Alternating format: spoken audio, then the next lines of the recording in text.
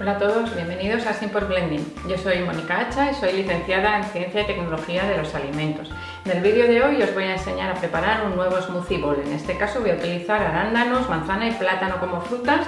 Va a ser un smoothie verde porque va a llevar vegetales y además tiene cantidad de fibra y de antioxidantes.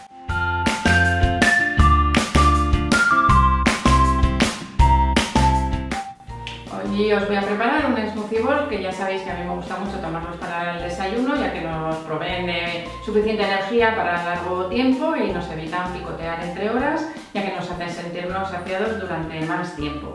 En el smoothie bowl de hoy voy a incluir más frutas, más cantidad de frutas de las que habitualmente os suelo decir que mezcléis en las recetas de smoothies.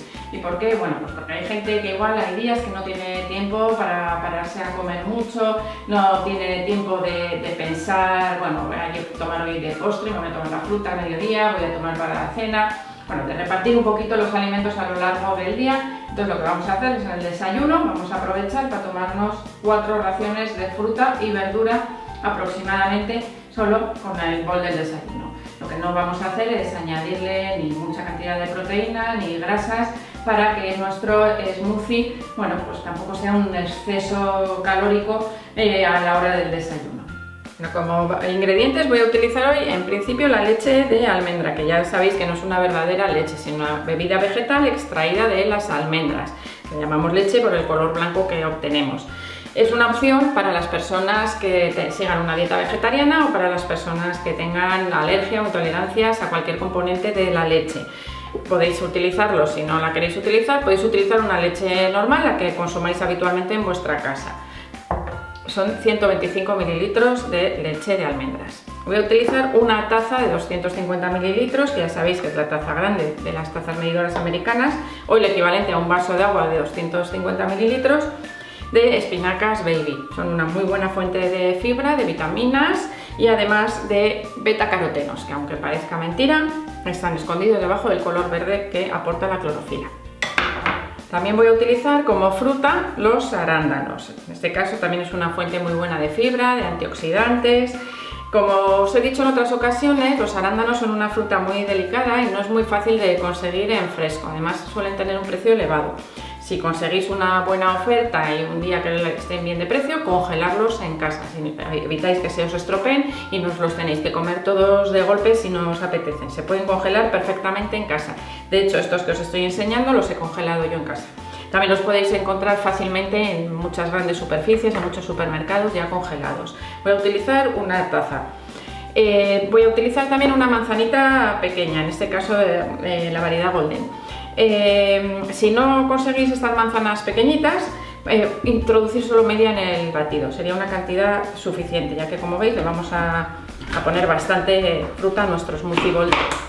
Pues la manzana, ya os he dicho muchas veces, eh, ¿os acordáis del dicho de una manzana al día, de tu vida, el doctor la alejaría? Bueno, pues es una fruta que podemos consumir durante todo el año, aunque la mejor época, ya que son las manzanas más nuevas, es a finales de verano, otoño, la mejor época para consumir las manzanas nuevas.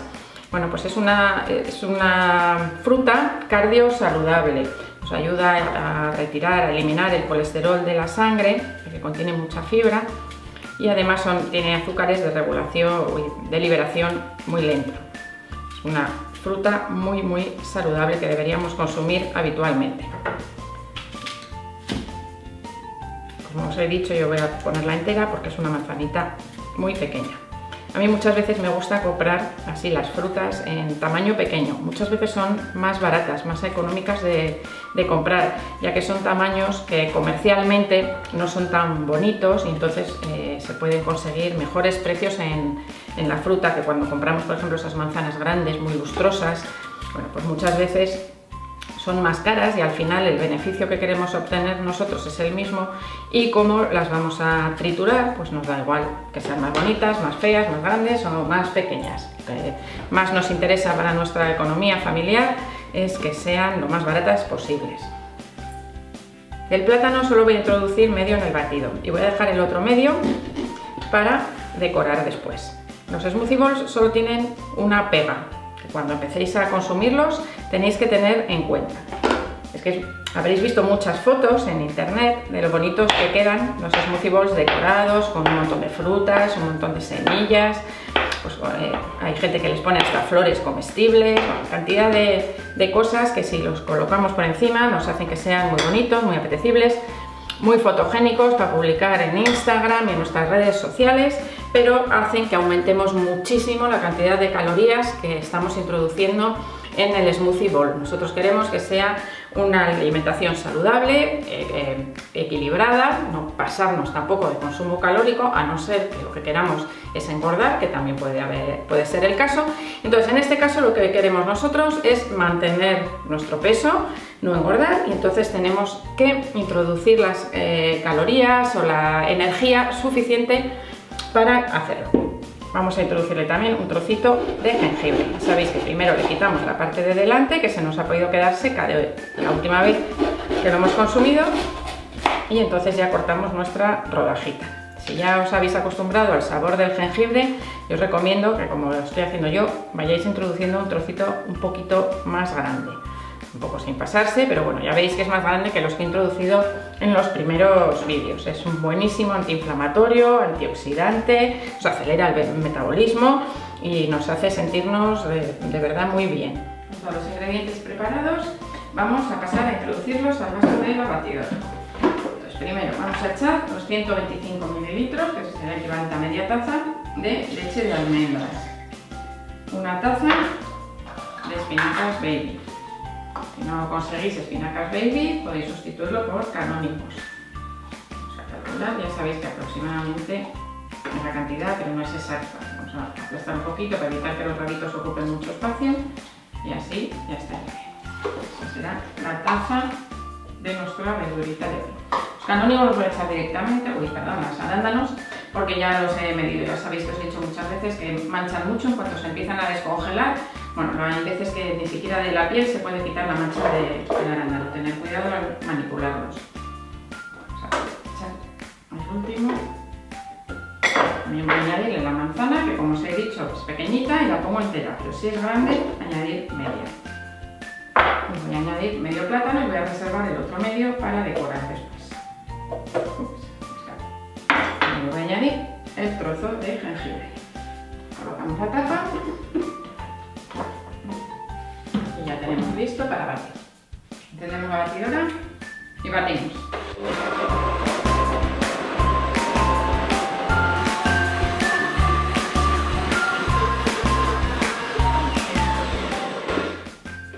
Ya está el batido, ya podemos servir nuestro smoothie bowl Bueno, ya veis cómo podemos disimular el color de los vegetales utilizando frutas que tengan un color rojo o morado.